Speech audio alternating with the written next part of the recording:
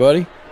Welcome back to the podcast. This is the Banned Books podcast, episode 97, the final episode of our reading of Luther and Erasmus. Not of the show, Well, of this That's- part of the show. that's on a week that's on a week to week basis. we'll do it as long as we feel like it. I like it. That's right. As long as 1517 keeps paying us, we'll still we'll still keep showing up. By the way, fifteen seventeen does uh, does help us do this show by supporting us financially. That's right, exactly. That's So why I you should said- support them financially as well. 100%. If you like the show and you've liked this series so far, and judging from our feedback, you do. Thank you so much for that. Um, yeah, supporting 1517 will be a good thing. And so this is episode 97. And as you heard, that's Christopher Gillespie. Chilling and willin', max and relaxing. This is actually thirteen episodes on one text. Really, that's it? Yeah, thirteen. 13 episodes, or as I like to call it, the future 13 chapters of my next book. Spoilers. Spoiler alert, we've been workshopping something for the past 13 episodes. No, like I've said, I think I said this in the opening that um, I've been asked, in fact, uh, Crucifying Religion was supposed to be uh, a lay commentary on the bondage of the will. Mm. 1517 asked me to write a book about the bondage of the will because I've spoken on it. I've done a lot of work on it the last 22 years, 23 years. And then I said, hey, that's a great idea. I'm not up to the task, but I do have this other idea I've been carrying around in my head for 20 years. Can I do that instead? Like like, sure, let's see how it works. Warm up exercise. Right. And then at Here We Still Stand, October 2019, I talked with our friend Adam Francisco, who is in charge of editing uh, books for 1517 and, and giving the yay or nay to projects. And it came up again. And it was, again, the green light, like you should really go forward with this. And I'm like, well, I think I kind of got an idea for how I want to do it, but it's such a monumental task, in, Yeah. in my opinion, that I said to you, well, let's read it backwards because the way that I learned it is I sat in my doctor father, James, Nes- James Nestingen's office in the summer, and we would read it out loud to each other and then talk about it.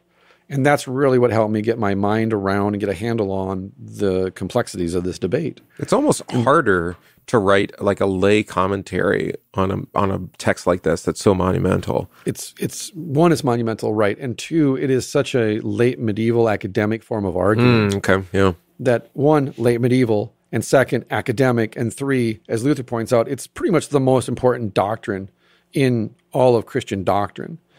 So you don't just want to, hey, I'm going to write a 150 page monograph on the bondage of the will, this monumental text that Luther himself said is really the only thing other than the catechism worth preserving after I die, and, and be kind of flippant about it or take a kind of juvenile approach to it. Right. And uh I, but I do think we have to remember, we've talked about it a number of times, is that Erasmus's line of argumentation, at least according to Luther, is juvenile and pedantic in itself, Right. which then makes Luther's response to it also come off maybe a little bit like that. Like, okay, Luther, you've made your point. Right. Um, but You're he, being a little bit overly harsh. Are, are you? Why do you have to be so hyperbolic? Well, and not only that, I mean, so thorough that, Mm-hmm. that he does f- respond to everything Erasmus wrote. Right. And we'd rather him just skip over large chunks of it that are just kind of, yeah. you know, irrelevant. Um, Right. But no, Luther Luther will respond to every every one of them. every one of those texts. Because as I said in the last episode, for Luther, at the end of the day, this is not an academic argument alone. This is a matter of pastoral care of Christians everywhere. Because what he sees in Erasmus's argument is the undoing of the comfort and hope we have in Christ Jesus, who died and rose for sinners. Yeah, that's what I was going to say. The the corresponding, mm, the will, uh, the way that you understand your will in relation to God's word, uh, either will allow you to receive justification by faith in Christ alone, or it will undermine justification, which we would argue as Lutherans is the central doctrine of the Scripture, start to finish. Right. The doctrine on which the church stands or falls. Yeah, as it's been called. And uh, if your will gets inserted into that, it actually undermines Christ's salvation of sinners. Right. Which is probably why there are so many churches that have fallen over the centuries. Hmm. Because we've replaced justification with our will Oh, yeah. in whatever whatever form that takes, however it manifests itself. something like uh, you know as sloppy as well christ died to save sinners are you one well why don't you follow jesus you're like right. What would it's- Jesus do? well and it's it sounds kind of innocuous well follow jesus you know it's like an encouraging word Right. yeah but good luck with it Right. because the scriptures themselves actually reject the idea that you can follow him, Right. or that you're going to. Well, that's kind of Jesus' whole point in John's Gospels. Like, where I'm going, eh, you can't follow. So I'm going to go. I'm going to get it ready for you. And then I'm going to come back and get you. right. Well, as if you would choose to die, to go into the grave. I mean, Yeah, right. Luther did that in the last episode. We, In the we last episode. that. Yeah. Yeah. as if voluntarily you're going to submit yourself to both Jewish and Roman authorities to be Yeah. crucified. Um, you know, pretty terrible way to die. Well, and that's a great point. C.S. Lewis alludes to this when he talks about being a Christian versus not being a Christian. We, we would refer to it as a theologian of glory versus a theologian of the cross, which is when you make that turn towards human willing in regards to salvation, you tend to present Christianity like it's uh, a steak just with melted butter dripping off of it and a glass of port wine on the side. The glory road. Yeah, it's the glory. It's like you you definitely want to be a Christian because look at this meal versus yeah, it's going to be crawling on your hands and knees through the valley of the shadow of death to the cross where you're going to die ignominiously. Um, even your brothers and sisters in Christ, some of them are going to condemn you and think they're offering worship to God when they do it. Uh, you're definitely the furthest thing from saintliness, who God calls a saint. And Satan, sin, and death are constantly going to attack and afflict you in order to drag you away from Christ. So sign up. Right, exactly. Would you please, you want to sign this waiver now? We'll give you a free mug. That's right, exactly. exactly. All I got was this lousy T-shirt. That's right. Yeah, exactly. I became a Christian all I got was this lousy t shirt. I might have to use that for one of our fundraisers coming up through Thrivent. That's awesome. We asked Thrivent for money and all they gave us were these lousy t shirts. that would be great. yes. Shout out to Thrivent and thank you uh, for your support of what we do at this congregation. So today, as I promised, we're going to dive into Scripture, where this is ground zero. This is where it started for Erasmus and Luther, and this is where it ends for Luther. Erasmus tends to segue into human reason, and because he's a humanist, and he tends to segue into the authority of the church and tradition because he's a Roman Catholic. And where it suits his purposes, he will appeal to the Pope and papal authority. And where it doesn't, he appeals to reason And also But- to the human spirit. and the human spirit because he is pushing a Christian philosophy, as he calls it, Mm-hmm. Which and a heavy Luther, emphasis on philosophy. which Luther will say undermines the Holy Spirit, uh, who's Well, I think- yeah. Actually, Luther will make the argument that Christian philosophy is an oxymoron Mm. because philosophy is earthly wisdom, Mm. And Christ and is to be a. Christian, Yeah. exactly, that's a wisdom that surpasses all human understanding. Mm. And so, these two, in relation to your neighbor, you can apply philosophy. That is earthly wisdom, but or it's even not to Christian. yourself. or even to yourself. But that doesn't make it specifically Christian. Mm-mm. You are a Christian who is applying this philosophy, like I talked about in the last episode.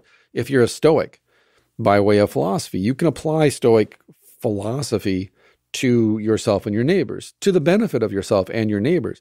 It's not going to advance you one step closer to God. Mm-mm. And yet you can still be a Christian and be a Stoic, I would argue, because as long as you hold that tension, that distinction between the two kingdoms, you can love your neighbor and you can embrace worldly wisdom, earthly wisdom in order to do that. Because again, it's still good. We're not Manichaeans here. I think we're even a little bit more subtle usually in our language, not you and I, but generally speaking as people. Sure. And that it's not it's not about um it's not about earning or rewarding us with salvation, Mm-hmm. right? When we talk about our works, our virtuous living, or the way that we use wisdom um, in loving service to one another.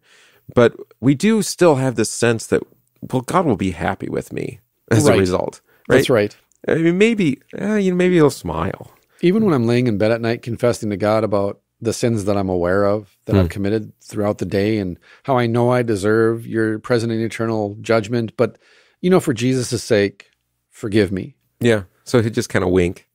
It, yeah, exactly. Just could you kind of wink at these things that I consider? Well, actually, I don't really consider them unforgivable sins because I kind of like them. But I know you consider them unforgivable. So hey, could you just forgive this stuff too? Do me a solid. And this is what we do. We do this all the time. Yeah. The problem isn't the things we're aware of. It's as Paul says in Romans seven. I don't even understand my own actions. So how good of a philosopher are you then? Right, exactly. And so uh, this is why Dr. Luther famously can say that uh, philosophy is the queen of the virtues. Hmm? Love is the queen of the virtues, and yet he or reason. I'm sorry, reason is the queen of the virtues, and then simultaneously say reason is a whore. Well, how can she be a queen and a whore? In relation to my neighbor, reason is the queen of all the virtues. Yeah, let's be reasonable. Let's be reasonable. But in relation to God and salvation, reason is a whore. That is, she will literally sell herself to any God who comes along. And if you want to know how this works out, go read the prophet Hosea. Mm-hmm. No, I was going to say look in the church too, because it, we we confuse those. I would say almost daily, if not Yeah, daily. right. Right. Where- it's like, well, but Pastor, you said in the sermon yes. that I'm saved no matter what I do, so Mm-hmm. Right. I can do whatever I want. Like, no, that's not very Right. rea- that's not very Yeah, reasonable like at all. you were doing, like you weren't doing that before the sermon. yeah. Uh, Well, and- I'll give you a. Here's a good example. I think too is uh, anyone who is an elder or uh, comes on church council Hmm. gets a copy of Extreme Ownership by Jocko Willink right. Because we're about the business of this congregation on the council, and therefore I want them to understand where I'm coming from from a business philosophy, a business ethic. Once you walk into the nave, once you come to the altar. Jocko is left out of the conversation because he doesn't contribute to your salvation. Except Only for on Jesus your does. except for on your um, phone's wallpaper, but that's another. Well, that story. too, and You'll my have, to door. send, you'll have to send It's that on. to me. It's also on the door to my office. I'll put it in the show notes. but um, likewise, then if I say during council WWJD, everybody knows I mean what would Jocko do. yeah. If I say it in church, everyone goes, Pastor, are you feeling all right? Well, there's a sense that we spiritualize the earthly. So, of course we do. So, because, like you said, I can measure. Like if I read Jocko Willink's book or books, and then I implement what he talks about in his books, and I implement those in real life, and I get and like literally I see success from them. Hmm. I see that I'm accomplishing something. I can measure that. I can weigh that out, and I can I can assess a value judgment to that. But in relation to Jesus, I'm kind of left on my own. well, I was thinking the opposite way around is to say, well, you know, Pastor, it's okay. We can run up this debt because God will take care of us. Well, that too, yeah. You're like, um, well, God is going to take care of you, but does is that license to be an idiot? right. You know, is that what he Yeah. is that what he's actually telling you? No, he actually. Yeah. There's many, many parables and sayings of Jesus about being wise as serpents Right. and as doves. Right. Right. well we we we hold the tension and uh, we talked about this too in the last episode we tend to be very binary in our thinking and in our behavior even though we love to argue that most things are gray Hmm. And the reason we want to argue that most things are gray is because we want control but we also want an escape clause I was going to say we So- want control without responsibility. exactly so as one person has said everyone everyone is guilty but no one's responsible Hmm.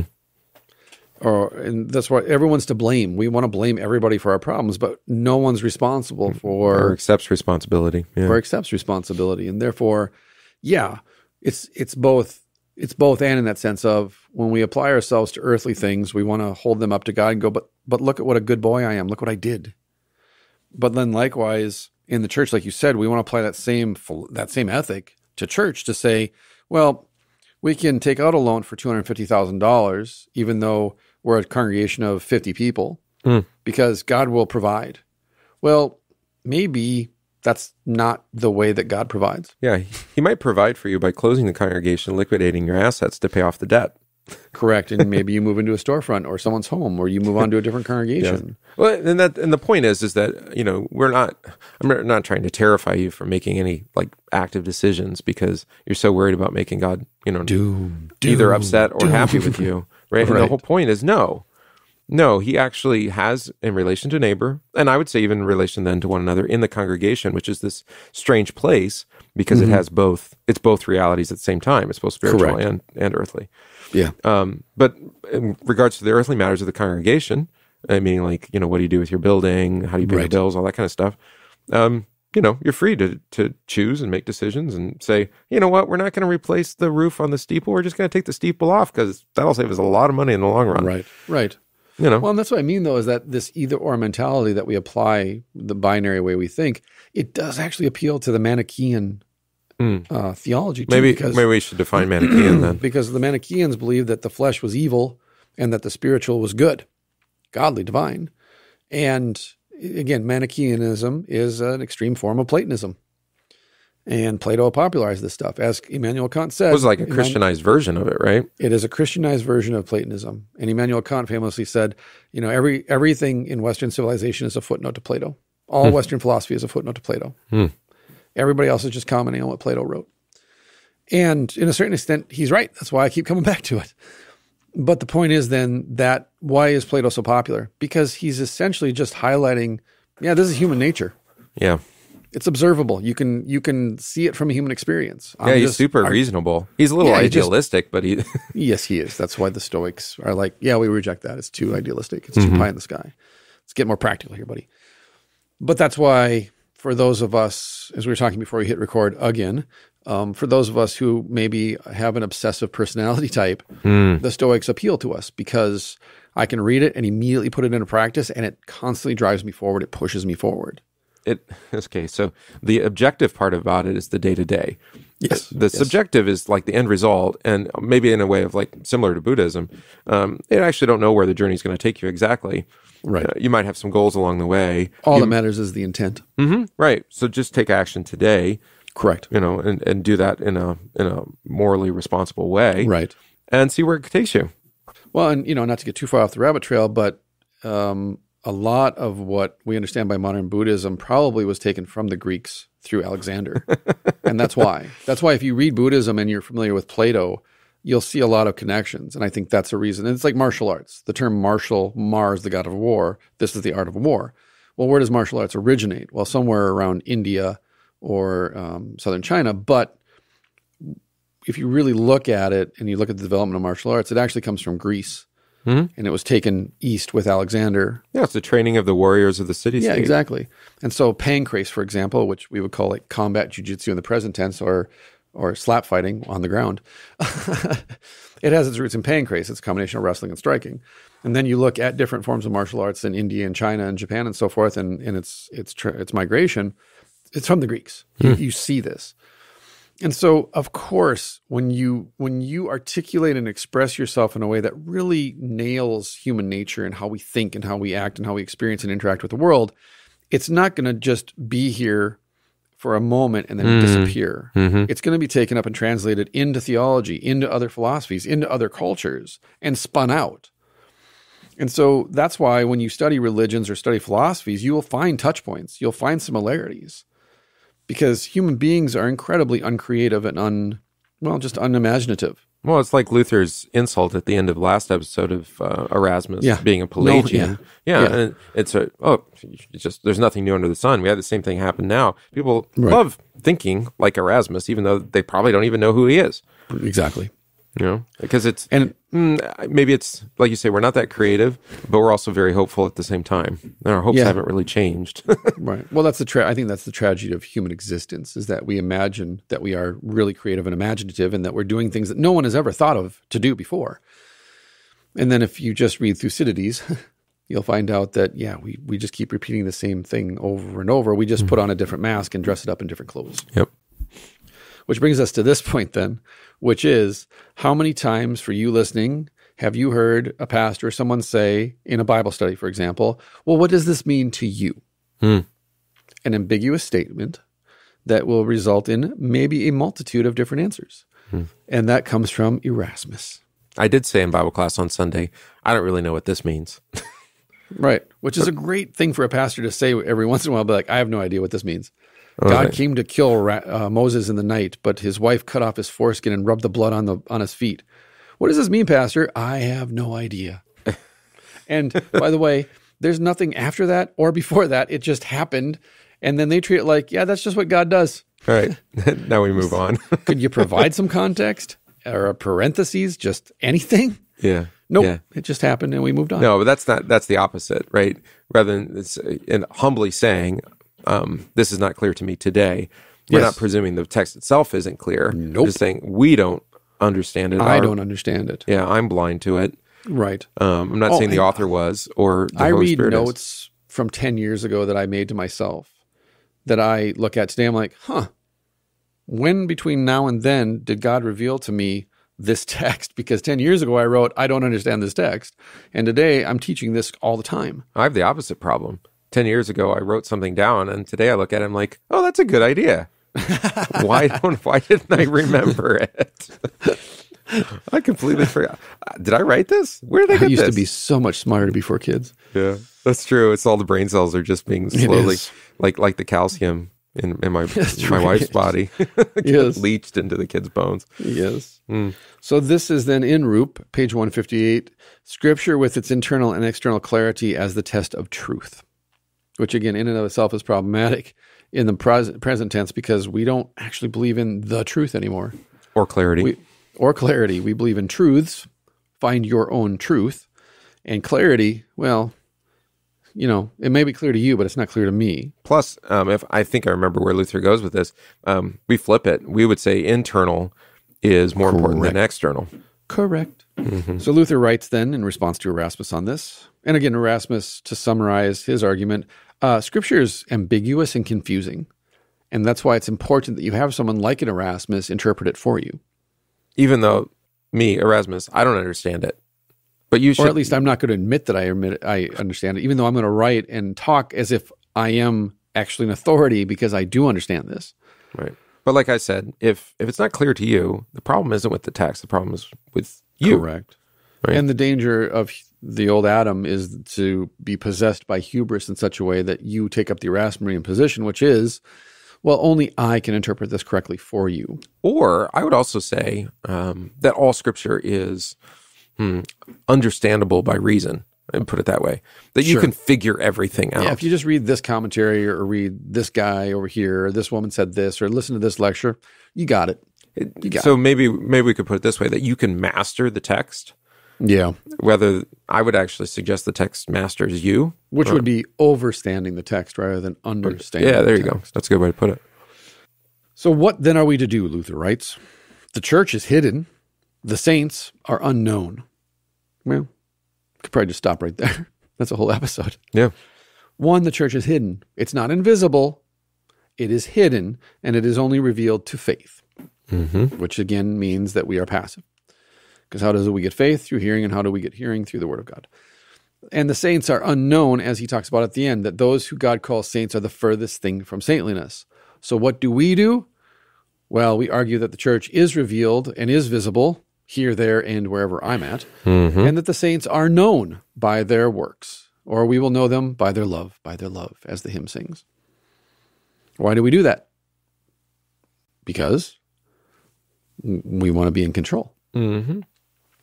Well, and then and we want confidence, um, Correct. based off of what we can see and touch and feel. How do I know if I'm doing the right thing? How do I know if I'm advancing toward heaven or hell if I can't measure my progress based on what I see? Right, and this is what's led uh, to the really more recent phenomena of church shopping. Yeah, absolutely. Because we have the we have the luxury of of mobility, Yeah. and so and we go around, and I know people that just can't find the right church, and Yeah. even among their own tradition, even within like one tradition, right? Yeah. they they drive they try to visit them all. They'll drive past four churches to find the one that's right for them. Oh, yeah. No, I have people that drive 60, 65 miles to come to our congregation on Sunday morning. They drive by a lot of churches. Right, and I'm not saying that all those churches were faithful, right, and that you shouldn't drive by them. Yeah, right. It's very possible, but but on the other hand, there are mhm, I- we have these very high standards. Where or we're very hopeful that we can find some you know idyllic place on earth. Exactly. An idyllic place. Yeah, Platonic ideal. Mm, A utopia that is a no that. place. yeah. So the church is hidden. The saints are unknown.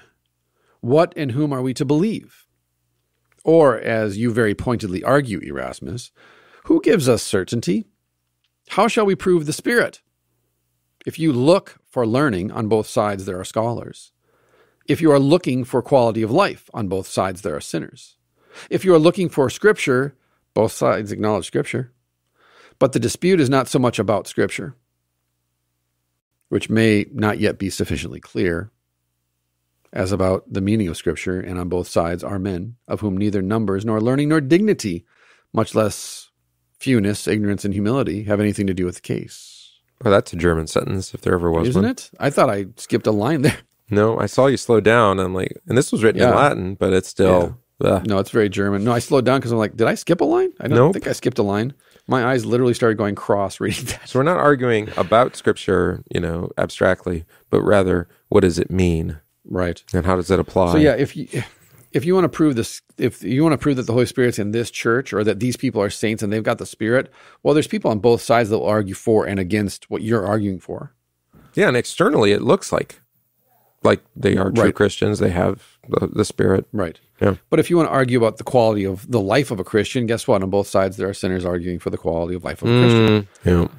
If you want to argue for the clarity of Scripture, both sides acknowledge that Scripture is clear or just that Scripture is the Word of God, even if it's not sufficiently clear to them.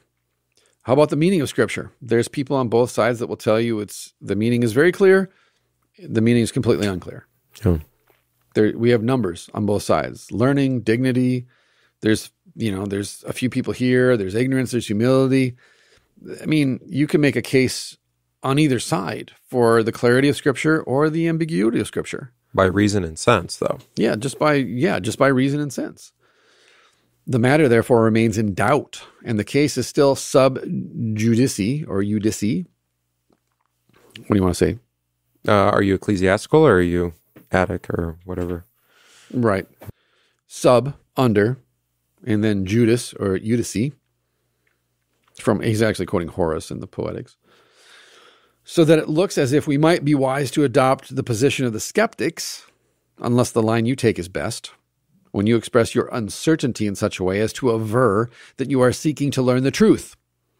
Though in the meantime, you incline to the side that asserts free choice until the truth becomes clear. I think Luther's got to be playing with him here. He This, is. this back and forth, this back and, you know, logic. Just, well, we could say this or you could say this. And you, Well, remember, this is the beginning of this too, though. This is the beginning of the treatise. So this is definitely where he hits him hard. And as he goes, he becomes more and more redundant because he's just he's arguing scripturally as we go, right? So like when we start at the end, it's just scripture passage after scripture passage. But notice here, there are scripture passages that Luther cites, but they are few and far between. yeah, it's more of, uh, um, I think he's playing with the, the, the manner or the mean means of argumentation, not necessarily Right. He, the yeah, actual exactly. He's- argument. yeah. He's like, here's the rules of the game. Here's the rules of engagement. I get it. So this is why I recommend Rupp, even though the translation is a little bit more wooden than Packer and Johnston, is because Rupp includes the Erasmus text. And as, and as we read this, this is, I think, why so many people are actually turned off from reading the Bondage of the Will is because this first part on scripture, it's wordy and Yeah. it's dense and it's really difficult to get into the argument from this position because you're you're basically trying to get through this to the easier stuff that Like comes 40, after it. 50 But pages. it is. Yeah. Think about it this way.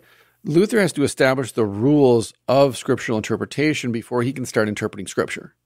So all the heavy lifting's on the front end of this debate. Mm, okay. These are the rules. These are my hermeneutics by which I will then exposit scripture to confute, to contradict, to counter your argument for free choice. It's like in your book where you put the, it was an appendix at the end, how to read the Correct. Bible.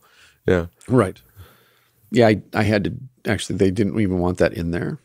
And I insisted. So, Yeah. because like, yeah, you just wrote on, the, you just wrote about your experience in theology, but what happens if I want to read the Bible? like, how am I supposed to read this? Well, that's a great point. Well, and this is not this is not foreign. I I think people know that you need not an interpretive key. That's the wrong way to put it, because it sounds again as if the scripture itself is not clear, and you need something to clarify it for you. Um, but how you approach the Bible itself is completely relevant, and I think people know this. I mean, even the Gideons do, right? They put Bibles everywhere. It's Yeah. not like as if the Bible's just there, laying there, and you're just supposed to open it and find a page. of Right. What people do. Because you flip to the back, it tells you exactly how to read it according to their. Well, think about it this way. To your point, there I would actually argue in favor of an interpretive key. And in fact, I would publish like emboss on the front of every Bible. You search the scriptures because you think in them Mm, okay. you'll find life, but they're they testify to me. Like they're like John's gospel, like all of John's gospel is essentially Jesus saying, I'm actually the only correct interpreter of scripture because I'm the one who actually spoke it into existence. Right. The prologue is the interpretive key. Exactly. So that's what I would say is like rhetorically, it's not clear either because you can go into the Old Testament and read rhetorically. This is the history of Israel, for mm-hmm. example. Mm-hmm. No, it's not. It's the history of of Jesus and salvation. Well, the new Israel, if you like, the church. Exactly. Mm-hmm. But you don't know that until you get to Romans, and then you're like, oh, it seems like from Paul's argument that he's saying that that the history of Israel is actually the history of Jesus. Yeah. And it's like rhetorically you can understand that, but you can read that in John and Jesus saying, yeah, actually, they testify to me. Well, this is the problem. We've been reading through John, and we lack the the hermeneutic. Well, we have the hermeneutic. We know all the scriptures testify of him. We know that Yeah. these things are written that you would believe that Jesus is the Christ. Right. That's Right, John's exactly. hermeneutic at the end. Yeah. And uh, But what we lack, actually, maybe ironically now, is we don't have the scriptures. So we don't even know the Old Testament. And Yeah. so there's there's this common like thing that gets tried you know trotted out about how John is written writing to a Greek audience because he's using all these Greek philosophical Yeah, terms or something. And you're like, did you actually read it? Right, I was going to say because he's attacking the rabbis hard. Yeah, it's the rabbis, and he's and it's in the context of feasts and festivals, Jewish feasts and festivals that are full of Yeah. meaning and Yeah. um, and history. So That's a great point, actually. And you brought that up before. Is that if you the John's Gospel is basically laid out like a calendar. Mhm, yeah, You can literally follow the Jewish feasts and festivals, and Jesus just constantly subverting every single one of them. there's kind of a gap between I think it was chapter six and seven, but but overall, yeah, it's pretty Yeah. it's pretty linear. Um, and you know the fact that Jesus doesn't go up, we're in chapter seven, so the Feast of Tabernacles. Mm-hmm. He doesn't go up at the beginning of the feast. Then he goes up at the middle, and then he Yeah. then he makes some really profound statements at the end. They're like, well, this this maybe it matters. Why would John keep telling you what part of the feast he's at? What's happening on that day? Right. When he says, you know, if you thirst, come to me, and I'll you know give you to drink of, of the water. Like, what part of the Feast of Tabernacles? What was happening on the seventh day? Hmm. Yeah, there's a whole bit with pool Siloam and taking water and Heard, into yes, the exactly. temple. Yeah. Yeah. So, I mean, not having that background, one, it makes the text kind of, well, it does make it unintelligible in a lot of ways. You're just like, why is Right. Jesus saying that? Yeah. You know? But if you know what was happening on that day, which you Right. should, if you, you know, Right. Well, there's that problem. You should. you know, which you should, um, then then it actually, oh well, it not only does it make sense, but it but it's rich in meaning, right? Correct. And and, and actually profound. Right. And that's the point is that yeah, rhetorically it might be clear to the to the naked eye. You can read it and be like, yeah, it's about the history Mm-hmm. of Israel or John's gospel is Jesus saying a whole bunch of things that don't really make any sense, but he's Jesus. I guess he's claiming that he's special. But then the internal clarity, that is the spiritual, the the the clarity of scripture that the spirit opens up that reveals to us, oh, Yeah. this is all about Jesus and that, oh, he's leading us, he's leading us through the history of Israel, taking it all captive to well, Mm-hmm. the actual point. Then all of a sudden you're like, well, which is it? It's like, well, it's actually both at the same time. Yeah. Yeah. Yes. And that's good. So, like he's like Luther says, you know, to this I reply about, you know, you have this side that takes this position, but there's an equal number of people on the other side that will take the opposite position. There's something in what you say, but not the whole truth. Mm-hmm. Again, you have you've got external clarity, but you you lack internal clarity, which Erasmus writes to Zwingli after this and goes, I don't understand what he's talking about. which proves the point. Like Luther's like, you don't understand. There's two kinds of clarity, and even Erasmus is like, I don't understand what he's talking about. What do you? What does he mean? Like clarity according to the spirit, and then clarity according to the, the you know reason. It's like what, I don't understand because again, faith equals understanding for Erasmus. Ah, yes. And and really then, yeah, the spirit's work is to give understanding, not to give faith. Correct. Okay. Exactly, and understanding that then manifests in the right behavior. There's no reason for the humanist to understand something if it's not applied to your life. This is their this is their attack Okay. against like nominalism or something like late medieval schools of, of theology is like all you care about is debating theology and talking about doctrine and arguing about how many angels uh, you know can be put on the head of a pin or can God create a rock that he can't lift. What we need is practical wisdom. We need to be given doctrine that we can apply in our day to day lives. Never heard that before. Yeah, right? Huh. Again, Erasmus won the war. So uh, then Luther continues We shall not prove the spirits by arguments about learning, life, talent, numbers, dignity, ignorance, crudity, rarity, and lowliness. Nor do I approve of those who have recourse to boasting of the Spirit. For I have had this year, and am still having, a sharp enough fight with those fanatics who subject the Scriptures to the interpretation of their own spirit. He's referring to the Schwärmer, the enthusiasts, as they're called, the God with inners. Zwingli Um, being one, right? Zwingli being one of them that he encounters in the spring of 1522, and then he had uh, more recently attacked in his book Against the Heavenly Prophets in 1525, which is a brilliant treatise, by the way, Against the Heavenly Prophets. Definitely worth reading in the present tense, especially in the context of worship wars and in the context of how do you interpret Scripture? How do you read the Bible? Yeah. because he addresses all that stuff. So I've had enough problems with these people, and I got to deal with you too about the whole matter of the scripture. It is on this account also that I have hitherto attacked the Pope, in whose kingdom nothing is more commonly stated or more generally accepted than the idea that the scriptures are obscure and ambiguous, so that the Spirit, small s spirit, to interpret them must be sought from the apostolic see of Rome, meaning the Pope. We call it trickle down economics. So he's kind of the Holy Spirit. Yeah. Hmm. He's the vicar of Christ on earth. Got it. If the Pope says it, Jesus said it. And then it just trickles down. Nothing more pernicious could be said than this, for it has led ungodly men to set themselves above the Scriptures and to fabricate whatever they pleased, until the Scriptures have been completely trampled down, and we have been believing and teaching nothing but the dreams of madmen. In a word, that saying is no human invention, but a virus sent into the world by the incredible malice of the prince of all demons himself. Ooh. That's Tell us what you really think, right? way, way to start your argument. So, what we say is this the spirits are to be tested or proved by two sorts of judgment. One is internal, whereby, through the Holy Spirit or a special gift of God, anyone who is enlightened concerning himself and his own salvation judges and discerns with the greatest certainty the dogmas and opinions of all men. Of this it is said in 1 Corinthians 1 or chapter 2 verse 15 depending on your Bible. That's Luther. I love how he That's does Luther, that. yeah. Eh, somewhere, somewhere in First Corinthians, Yeah, or or the second or chapter. Paul, or Peter, or I don't know. Right. Yeah. Somebody. The spiritual man judges all things, but himself is judged by no one. This belongs to faith and is necessary for every individual Christian. We have called it above, quote, the internal clarity of Holy Scripture. So the internal clarity of Holy Scripture is just that, that the Holy Spirit enlightens each Christian with the, for lack of a better term, knowledge. That is the intimacy of knowledge, yada in Hebrew, intimate knowledge of this is who you are. Mm-hmm. And this is who I am, and this is what I'm going to do for you. This is God, how He reveals Himself and wants to be preached, worshipped, and offered to.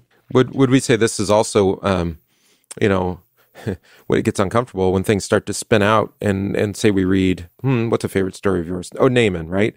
And, Yeah. and his washings, right in the Yeah. in the River Jordan, and it's an Old Testament text. It's long before the baptism of Jesus or the institution of baptism. Yeah, But internally, we can't help but it's say totally about yeah. this is this is about baptism. Yeah. Yeah. Or the flood even, right? I mean, this is baptism.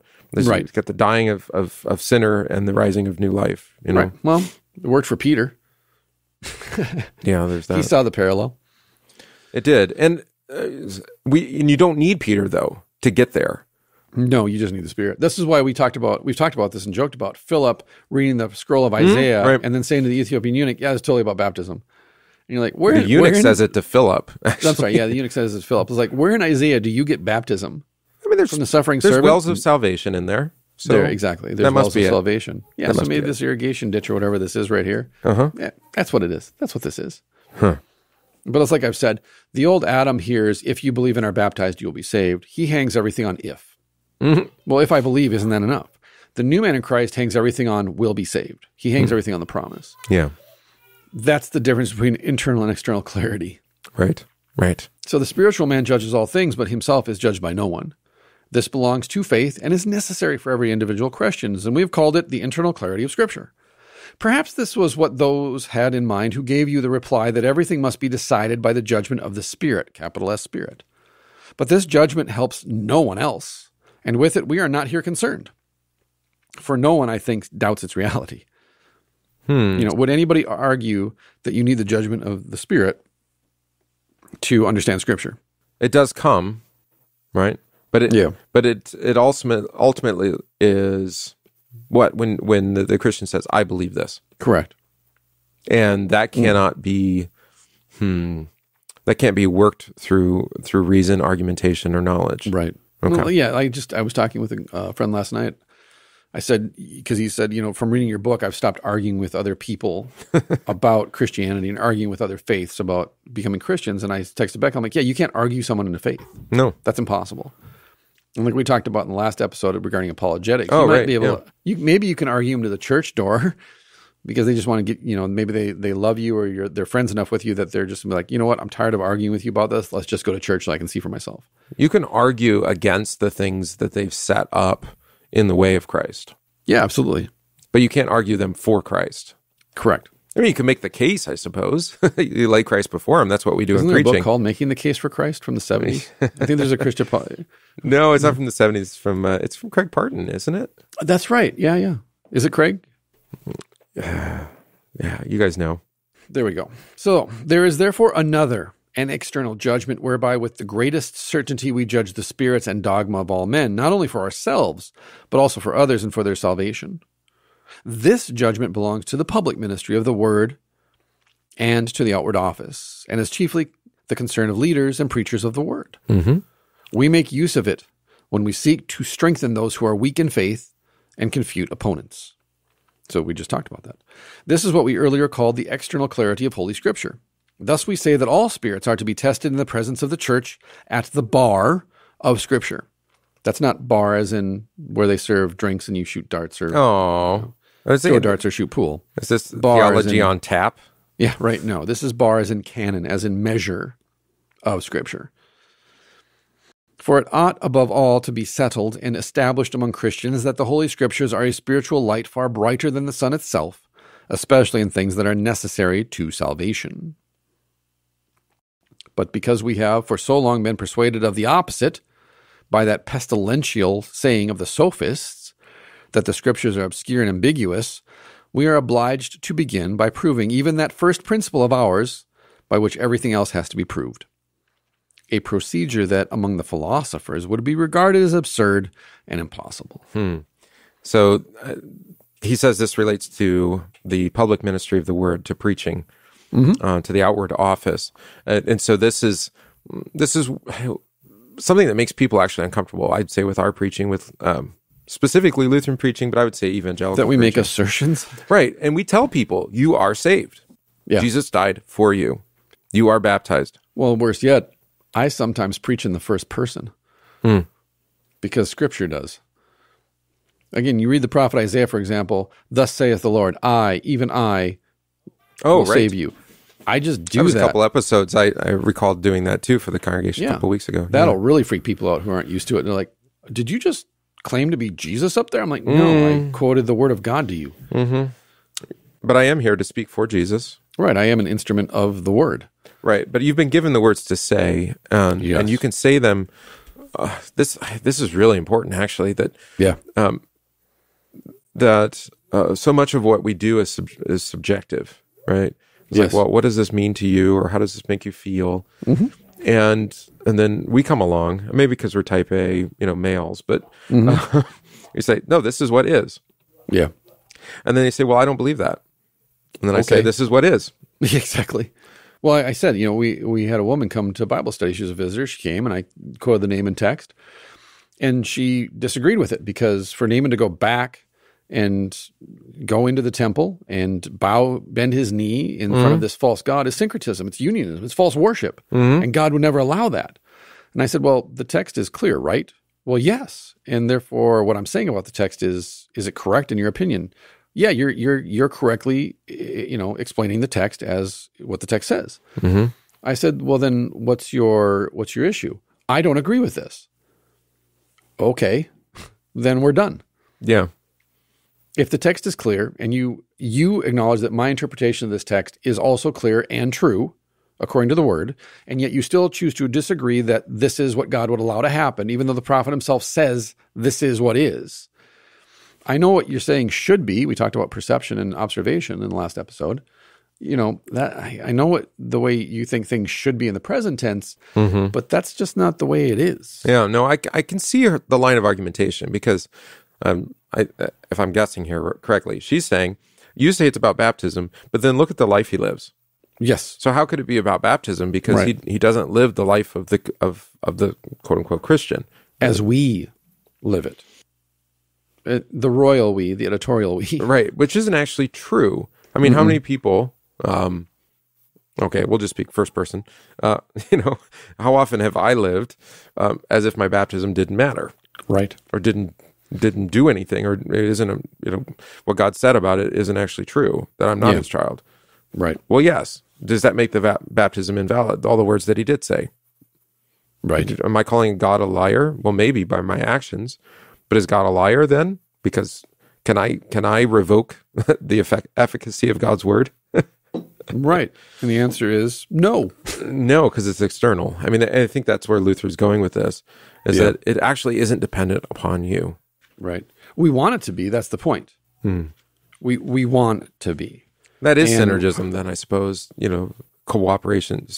What is that? Sun ergos, right? Yeah. To work with. Yeah. Yeah.